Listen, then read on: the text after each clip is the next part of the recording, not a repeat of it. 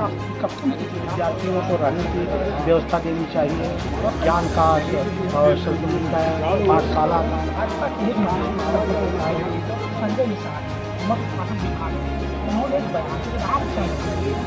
दशरथ के नहीं है कोई खीर से बच्चा पैदा नहीं होता है। तो क्या महत्व हम भी ये जानना चाहते हैं कि खाने से कोई बच्चा पैदा होता है? नमस्कार, मैं हूँ मिथिलेश कुमार। आप देख रहे हैं समाचार भारत। वक्त में देवी पाटन मंदिर तुलसीपुर में हूँ और आज महंत महिमनाथ जी का और इस अवसर पर उत्तर प्रदेश के मुख्यमंत्री योगी आदित्यनाथ और कई प्रदेश के साधु संत और पड़ोसी मित्र राष्ट्र नेपाल के सांसद और संत आए हुए थे। और सबसे बड़ा इसमें अयोध्या के महंत जी हमारे साथ हैं। सबसे पहले तो सब समाचार भारत में आपका स्वागत है। बस बहुत बहुत धन्यवाद जय श्री राम महंत जी आज आज पुण्यतिथि पे थे क्या कहेंगे? देखिए आज हम लोग पुण्यतिथि पे कई वर्षों से विगत भक्त वर्षों के बाद इस वर्ष लिया है। मेहनाथ जी की पुण्यतिथि में और उनको श्रद्धा सुमन अर्पित किया गया। इसके साथ साथ जो सनातन धर्म का पताका है आज देवी पाठन स्थान से हम लोगों ने पूरे विश्व में फहराने का काम किया है। हमारे उत्तर प्रदेश के यशस्वी मुख्यमंत्री श्री योगी आदित्यनाथ जी महाराज भी इस कार्यक्रम में सम्मिलित हुए, हर साल सम्मिलित होते हैं। इस साल भी सम्मिलित हुए। और विशेष करके समाज के अंदर जैसे शिक्षा हो गया, स्वास्थ्य हो गया, सड़कों का निर्माण हो गया, कई ऐसे विषयों पे मेडिकल कॉलेज हो गया, इस पर विस्तृत चर्चाएँ की गई है यहाँ पे। और महेंद्र नाथ जी की जो पूर्ण तिथि थी पूज्य महंत जी की उस पूर्ण तिथि पर हम लोगों श्रद्धा सुमन इस वर्षों से मनाया जा रहा है आज उत्तर प्रदेश के मुख्यमंत्री जी ने भी कहा कि इस सिलसिले को आगे भी चलाया जाए। अब भी ढेर सारे लोग और भाजपा के विधायक आगे का रणनीति क्या है? देखिए रणनीति ही जिस तरह पूज्य महाराज साहब ने कहा मंदिर स्थान का स्वरूप सदा मंदिर की तरह बना रहना चाहिए। हर मंदिर में गौशाला यज्ञशाला का निर्माण होना चाहिए विद्यार्थियों को रहने की व्यवस्था देनी चाहिए और तमाम जो ही योजनाएँ जैसे ज्ञान का और संस्कृत का पाठशाला का ये सारे निर्माण होने चाहिए सनातन धर्म ये बिल्कुल विकसित हो। और अपने चरमोत्कर्ष इसको देखते हैं सारे पर विशेष चर्चाएँ भाजपा के संजय निषाद, मत्स्य पालन विभाग उन्होंने एक बयान दिया। आप के बहुत चर्चित नहीं पूरे भारत में चर्चित हैं।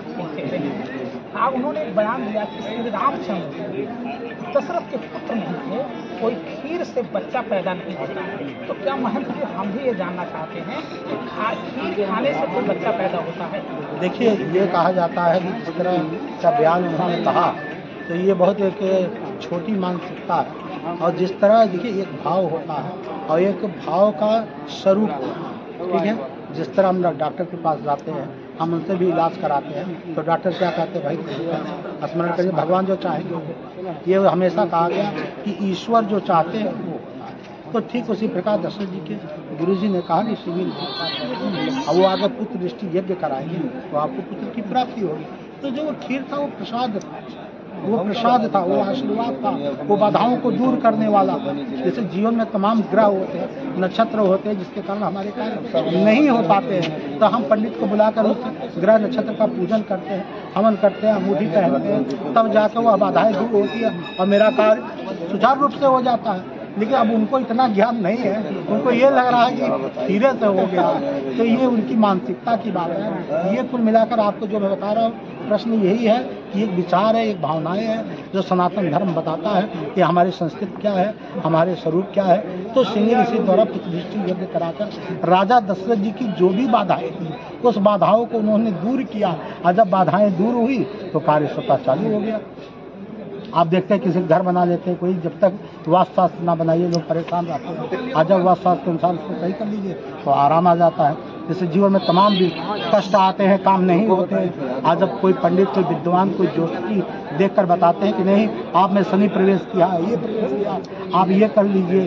तो अब आपकी एक बात से मुझे याद आ गया। जी। अभी पाकिस्तान इंडिया और इंग्लैंड का मैच था। हाँ हाँ। चैनल पे बहुत बड़े बड़े ज्योतिषी बैठे थे जी, जी। और टास से लेकर के और मैच जिताने का भविष्यवाणी और दावा कर रहे थे। अब उनकी दावा धराशायी हो गया। अब ये हो रहा है कि आज ज्योतिषी जो भी कह रहे थे ये सब हवा क्या कहेंगे? भविष्य को बताना ये अलग बात है। ठीक है? इसमें कोई जोशी करे मैंने क्या कहा कि मैं जो ग्रह नक्षत्र है मैं उसकी बात कर रहा हूँ। हर हर आदमी के जीवन में ग्रह नक्षत्र ऐसे आ जाते हैं। आप जब आपकी कुंडली बनी होगी अगर आप सनातन धर्म के होंगे तो आपकी कुंडली बनी होगी उसमें सब रेखाएँ ग्रह नक्षत्र अगर ग्रह नक्षत्र सही जगह पर नहीं हो तो इंसान परेशान होता है।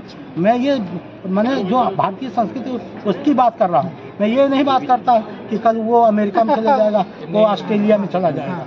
वो बातें नहीं करती। मैं बातें जो सत्य है उस बातों पे मैं प्रकाश डालता हूँ। और रही बात जीत हार एक खेल है और खेल में जो अच्छा खेलेगा वो जीतेगा जो गलत खेलेगा वो हारेगा। और देखिए ये सनातन धर्म है। मैं सदा से यही कहता हूँ सनातन धर्म में जब कोई मर जाता है और उसको लोग लेके चलते हैं तो पीछे से एक जो हमारे नातेदार, रिश्तेदार रहते हैं, एक ही चीज़ कहते हैं कि राम नाम सत्य है, सत्य और कुछ नहीं कहते ना। आज तक कोई नहीं कहा, रुपया सत्य है, पैसा सत्य है, किसी का हड़प लेना सत्य है। तो मैं यही कहता हूँ, जो राम के सेवक है वो स्वर्ग में जाएँगे। जो राम के सेवक है वो स्वर्ग में जाएँगे। और जो राम विरोधी है जो नरक में जाएँगे। जो राम विरोधी है तो वो नरक में जाएँगे। तो विश्वास करिए ये जो राम विरोधी है इनको नरक में जाना है। कोई रोक नहीं सकता। तो कोई रोक नहीं सकता। जय श्री राम। पे चलिए, सनातन धर्म पे चलिए और विश्वास के साथ चलिए, अपने कार्य को करिए, फल की इच्छा मत करिए, फल देना भगवान के हाथ में और कार्य करना मेरे हाथ में मैं कर्म करूँगा फल देना ना देना ईश्वर के हाथ में तो ईश्वर को प्रणाम करिए अपने कार्य करते रहिए देश के लिए समाज के लिए राष्ट्र के लिए संकल्पित रहिए हमेशा जय जयकार हो तो देख सकते हैं साफ़ कहना है कि समाज के लिए और जो भी सनातन चाहे वो मंदिर हो और चाहे जारी हो चाहे हमेशा समाज में देना चाहिए नितेश कुमार समाचार बलरामपुर